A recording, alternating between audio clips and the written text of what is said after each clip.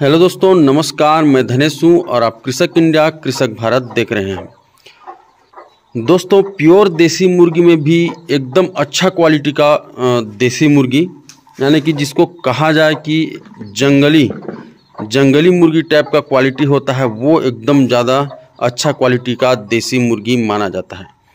तो मेरे पास ऐसे तो पूरे ही प्योर देसी मुर्गियाँ हैं, लेकिन अच्छा क्वालिटी का आपको मैं प्योर देसी दिखाता हूँ और जो थोड़ा लो क्वालिटी का है, वो भी आप लोग को दिखा रहा हूँ। ये जो आप देख रहे हैं मुर्गी, ये थोड़ा लो क्वालिटी का है। देख लीजिए, ये कड़कनाथ और प्योर देसी का मिक्स है। और जो जंगली क्वालिटी का बोल रहा हूँ, वो आप इसको थोड़ा जूम करके मैं आप लोगों को दिखा रहा हूँ। ये देखिए। ये है दोस्तों एकदम ज़बरदस्त क्वालिटी का देसी मुर्गी। और ये मुर्गा भी सेम वैसे ही अच्छा क्वालिटी का है। और और आप लोगों को दिखा देता हूँ, वैसे ही अच्छा क्वालिटी का देसी मुर्गी। एक और उधर वो जा रही है। ये तो खैर असील है, असील का मुर्गी है, ये देख सकते हैं। और ये मुर्गा भी देसी है, लेकिन इसका पैर देख लीजिए, और इसका शरीर भी एकदम उम्र के हिसाब से थोड़ा बड़ा है। अभी अभी ये क्रॉसिंग करना स्टार्ट किया है। तो ये एकदम प्योर देसी तो है लेकिन ये कभी न कभी थोड़ा बहुत क्रॉसिंग हुआ होगा। और एक और प्योर देसी में अच्छा क्वालिटी में आपको देसी मुर्गी दिखाता हूँ। ये देख लीजिए, ये भी एक है, ये जो, ये काला मुर्गा है, ये तो कड़कनाथ और प्योर देसी का मिक्स है। ये जो आपको दिख रही है मुर्गी, ये भी एकदम ए वन क्वालिटी का है।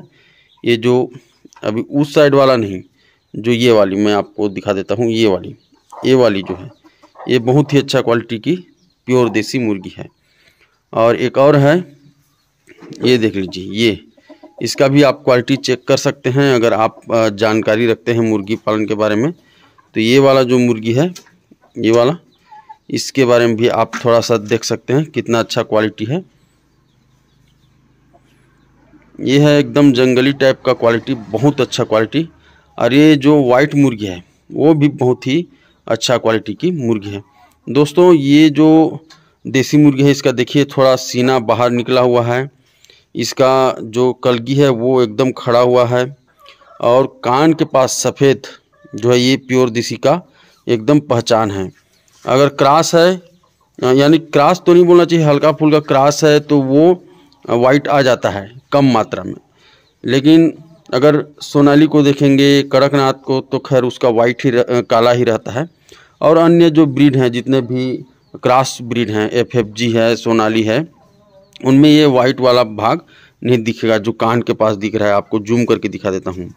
ये देखिए, जो कान के पास वाइट दिख रहा है। और अगर मुर्गा है तो उसमें तो और एकदम ज़्यादा दिखता है, जो वाइट वाला भाग है। और ये है, ये भी मुर्गी बहुत अच्छा क्वालिटी की है। और कुछ थोड़ा लो क्वालिटी के हैं, लेकिन प्योर देसी मुर्गी ही हैं। और ये तो अभी थोड़ा छोटे हैं तो बड़े होंगे तो समझ आएगा। और ये मुर्गा देख लीजिए, ये मुर्गा भी एकदम ए वन क्वालिटी का मुर्गा है।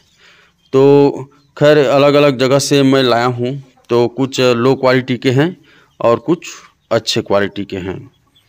और अगर आप भी देसी मुर्गी लेने जाते हैं तो इन चीज़ों का ध्यान रखें। शरीर का बनावट ही इनका बता देता है कि किस तरह का क्वालिटी है।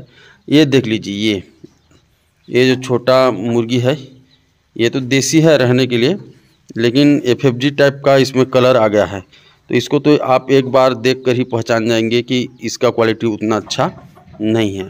तो ये अभी छोटी है और जब थोड़ा सा साइज़ बड़ा हो जाएगा तो इसको मुझे सेल कर देना है, इसको नहीं रखना है, क्योंकि ऐसे ही कलर का चूजा निकलेगा ज़्यादातर।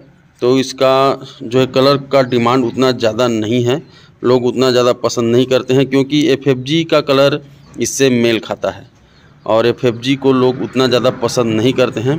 तो अगर ऐसी कलर में प्योर देसी भी है तो लोग इसको क्रॉसिंग समझते हैं या तो एफ़ समझते हैं, क्योंकि लोगों को उतना ज़्यादा जानकारी नहीं होता है। प्योर को प्योर को जो है, लो क्वालिटी समझेंगे, लो क्वालिटी के मुर्गी को अच्छा क्वालिटी के समझेंगे।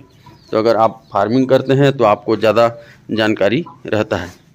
और ये देख लीजिए, ये जो फीमेल है कड़कनाथ है, और इसके चूजे जो हैं, देसी के साथ क्रास हैं।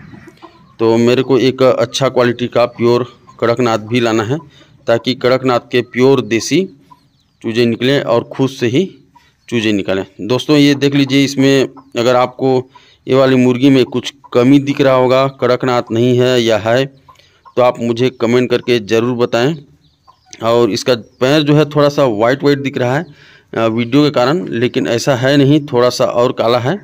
और वैसे भी एकदम ज़्यादा काला नहीं होता है, कड़कनाथ बोलने से लोग काला ही काला नज़र आता है, लेकिन उतना काला भी नहीं होता है।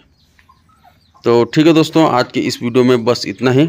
और आप भी जो प्योर देसी मुर्गी के क्वालिटी के बारे में जानते होंगे क्या क्या उसका पहचान होना चाहिए तो मुझे कमेंट करके आप ज़रूर बताएँ। मैं वैसी ही क्वालिटी का चूजा फिर, चूजा या मुर्गी जो भी ख़रीदना रहेगा, खरीद करके अपने सेट में डालूँगा। मुझे जितना जानकारी था, मैंने आप लोगों के साथ शेयर किया। तो ठीक है, मिलते हैं फिर एक नए वीडियो के साथ। तब तक के लिए जय हिंद, जय भारत।